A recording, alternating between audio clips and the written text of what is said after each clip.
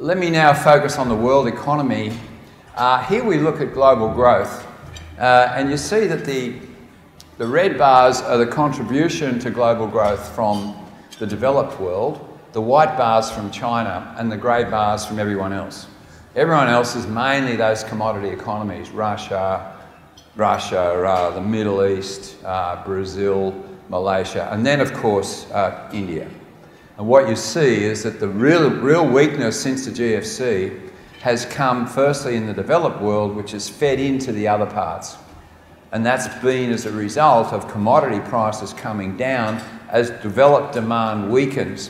And then, of course, China sort of sits there in the middle, playing a pretty important role and not having the big, uh, the big uh, volatility that we see elsewhere. So why is the developed world so weak? I think it is around business investment.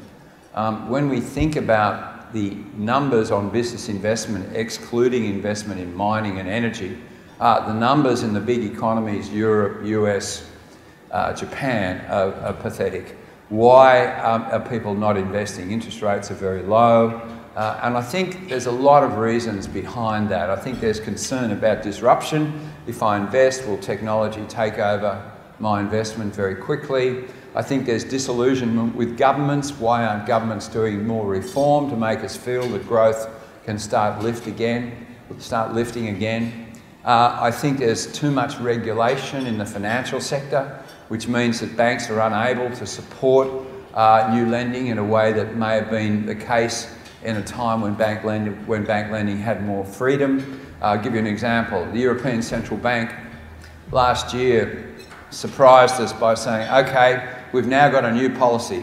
We are saying to banks that if you borrow money for us for four years and lend it to a corporate, we will give you the money at zero and we'll give you 40 basis points a year. So negative interest rates will give you money, will give you interest to lend to a corporate the, the, the, project failed miserably because the guy down the corridor was saying, okay, you've got to hold more capital against your, against your, uh, your assets. So the cost of the capital totally offset the attraction of lending more money.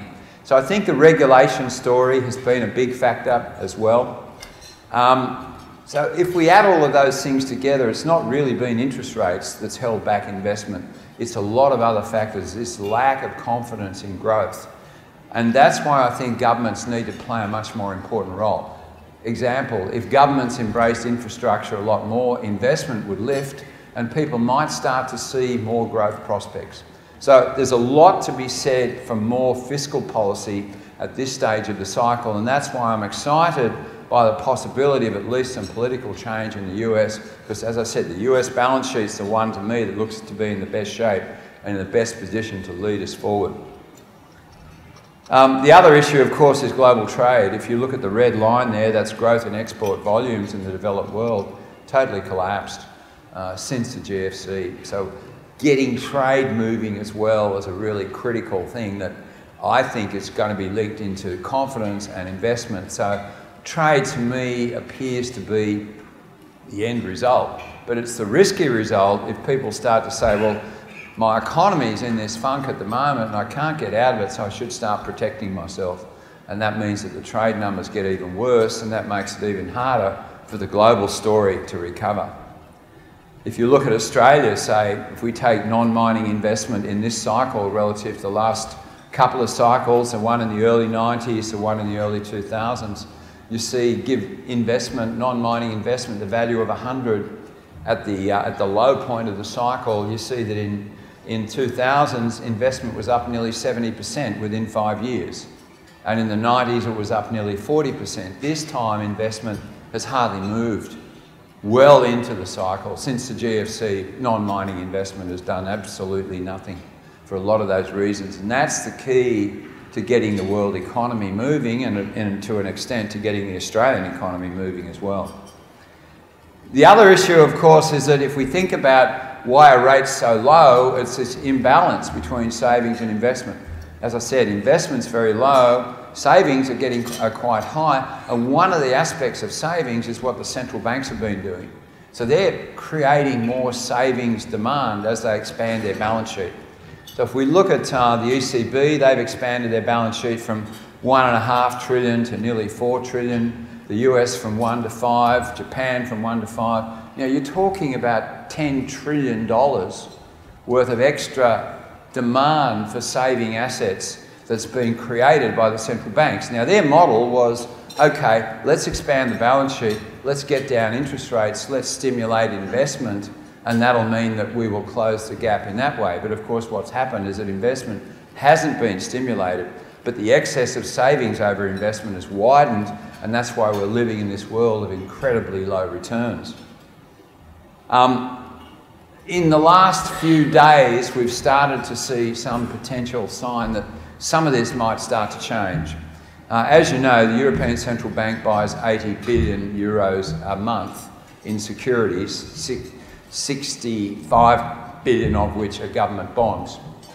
Uh, the Bank of Japan has been, has been expanding their balance sheet from 1 trillion to 5 trillion. In the last two Bank of Japan meetings, both times the market was expecting them to, uh, to announce a further expansion in their purchases, and indeed what happened was that they did not increase their purchases. So the first time we've seen that central bank blinking and going, well, maybe this negative interest rate, this balance sheet expansion isn't working. And this week we've heard talk, only, only talk, that the European Central Bank is having the same second thoughts and thinking about actually scaling back their purchases.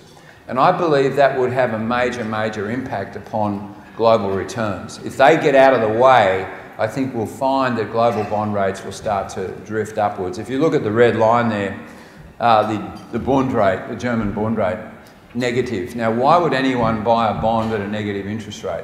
Well, hedge funds buy them because they know that there's the European Central Bank is prepared to buy at a negative rate. So you buy it minus 0.1 and sell it, and sell it minus 0.12, you've made a profit. It's a, it's a tricky business, but if you've got someone sitting there prepared to buy at a ridiculous value, then lots of people will get on the bandwagon. Uh, if the European Central Bank decides that they're going to scale back their purchases, what you'll find is that bond markets will start to address that and will start to get back to a more normal environment. And I suspect that that's what we've seen now, along with the Fed tightening. That means that we are at the bottom of that interest rate, long of that fixed interest rate cycle.